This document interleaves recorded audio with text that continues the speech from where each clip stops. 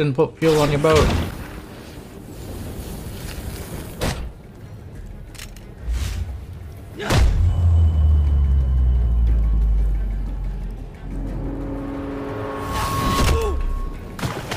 I think they haven't jumped off yet.